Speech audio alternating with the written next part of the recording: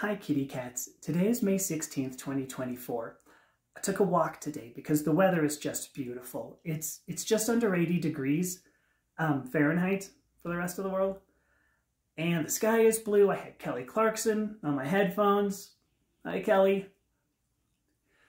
And I reached the top of a hill and I just had to stop because I had the breeze in my face and the sun on my skin and I realized it's only been two years.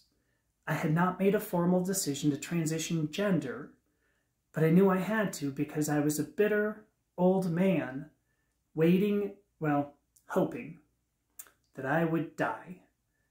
And today, here I am, two years later, a vibrant and beautiful woman embracing her life. I've been told that gender transition is wrong. But if it is so wrong to feel this good, then may I be cursed, because good goddess has every moment been worth it. Maybe you know somebody who needs to hear this message, and if you do, please pass this video along to them.